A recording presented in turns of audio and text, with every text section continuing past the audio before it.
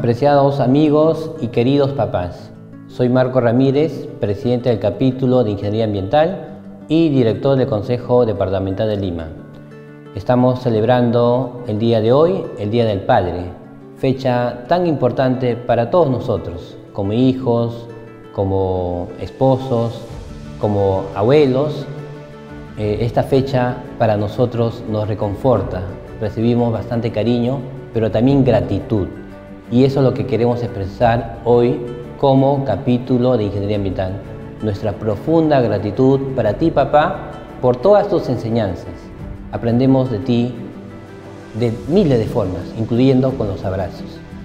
Con estas pequeñas palabras quiero expresarte nuestra admiración y nuestro, nuestra profunda gratitud. Que pasen un bonito Día del Padre.